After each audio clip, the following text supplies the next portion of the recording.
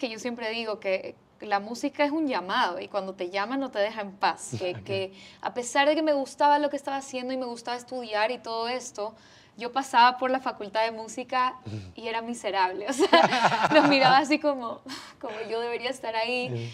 Entonces tuve la conversación con mis papás de, ¿saben qué?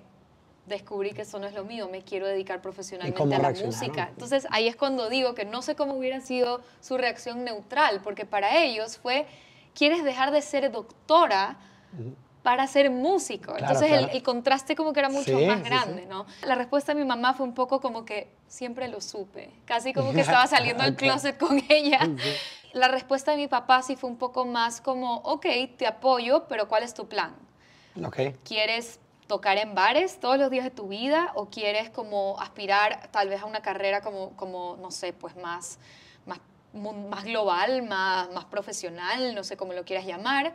Yo le dije, no, yo tengo un plan. Yo me voy a ir a Berklee College of Music como sea y voy a estudiar music business y voy a ser casi un magnate de la música, ¿no? Entonces, como que tú tranquilo que yo lo tengo totalmente arreglado, ¿no? Esto era, tenía 18, 19 años. O sea, realmente no puedo decir que no me apoyaron, simplemente tenían preocupaciones normales de como, ok, vas a tocar hasta 4 de la mañana en bares, sea alcohol, drogas, las típicos como estereotipo de músico, ¿no? Que eso, por lo menos en Ecuador, todavía está como muy presente, muy arraigado. Yo creo que ellos como se empezaron a dar cuenta, primero que nada, que yo estaba como muy seria con el asunto de la música y segundo, pues también que no llevo ningún tipo de vida loca que, les pueda traer alguna preocupación. Entonces ya a partir de eso, em, eh, lo, lo primero que hice después de esto, de tener esta conversación con ellos, fue que me fui a estudiar a Quito porque en Quito estaba la única carrera de música en el momento, en, mm. digamos, una carrera de música de, cuatro años, una carrera completa, ¿no? Porque en Guayaquil todavía para, ese entonces habían academias o mm. títulos de dos años o así. Entonces me fui a Quito, a la San Francisco de Quito, que yo sabía que tenía convenio con Berklee College of Music. Entonces de ahí empezó como, ok, este tiene que ser el primer paso. Eh, estuve allá, la San Francisco tiene eh, profesores de Berkeley que dan clases allá, los libros son de Berkeley, entonces yo ya empecé como un poco a sentir esa experiencia y a prepararme más que nada para, ok, mi siguiente audición, vamos a darle de nuevo, ¿no?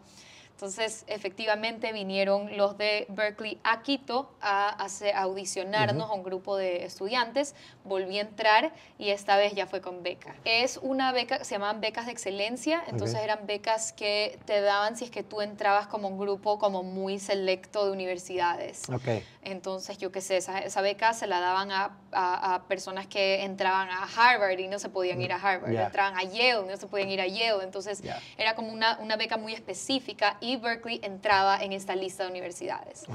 Entonces, cuando salió esta oportunidad, obviamente yo dije, pues esto es, o sea, es o, este, o esta beca o no me voy, nunca.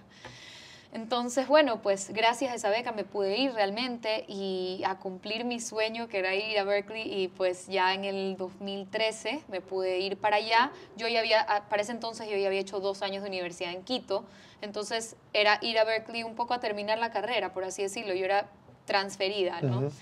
Eh, pero bueno, se sintió como una vida entera que tuve allá, totalmente aparte de mi vida en Ecuador. O sea, fue como empezar de día uno, el día que llegué a Boston y el resto de mi vida, ¿no? Eh, ese día conocí a Sebastián, que es mi novio y productor. Eh, y pues también conocí un montón de artistas y gente con la que todavía trabajo, con la que estoy como muy relacionada.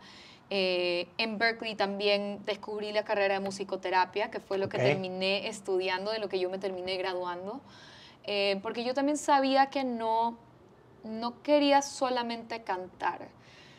Digamos, yo sabía que no quería solamente tener un título de performance, sino que yo llegué a Berkeley, de hecho hice el intento de estudiar music business, como le había dicho mi papá que iba a estudiar music, como era mi plan.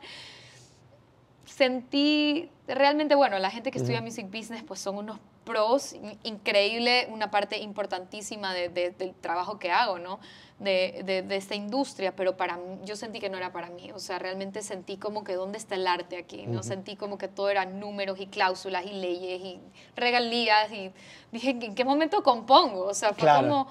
Entonces, realmente lo sentí como muy desapegado de, de, la parte creativa, entonces no fue lo mío. Y de ahí descubrí Music Therapy, que fue como que esto es la combinación perfecta de medicina y música, un poco. Entonces, eh, entré a esa carrera y pues siempre con Sebas decimos que tuvimos experiencias muy distintas en Berkeley porque él sí estaba como muy en el centro de todo, de, de eh, los recitales y los conciertos y el teatro y el auditorio y yo en cambio estaba trabajando en hospitales y en escuelas. y Entonces, otra experiencia, pero al final del día creo que también la musicoterapia me dio como una perspectiva totalmente distinta.